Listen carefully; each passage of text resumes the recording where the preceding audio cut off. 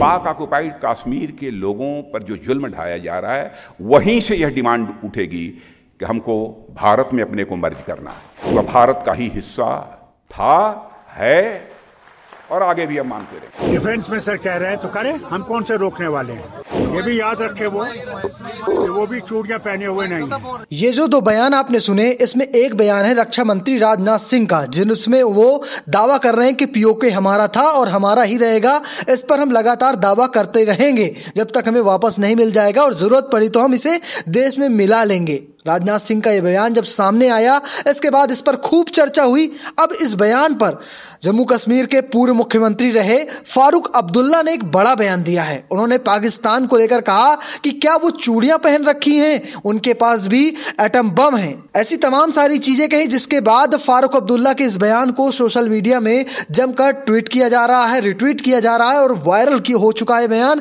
और इस पर लगातार सवाल किए जा रहे हैं। पीओके पर सिर्फ़ गैर कानूनी कब्जा कर लेने से पाकिस्तान की कोई लोकस स्टंडाई नहीं बनती है।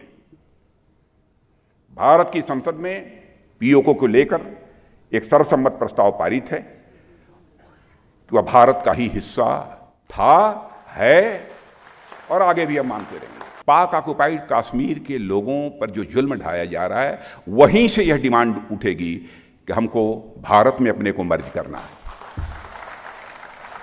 और आपने देखा होगा टेलीविज़न के पर्दे पर कई बार वहाँ के लोग स्लोगन नारे लगा रहे हैं कि हमको भारत में मर्ज करो। मिनिस्टर कह रहे हैं कि जो पार का कश्मीर है उसको भी हम मर्ज करेंगे और वो लोग चाहते हैं कि हम उस कश्मीर से मर्ज हो जाए। डिफेंस में सर कह रहे हैं तो करें हम कौन से रोकने वाले हैं?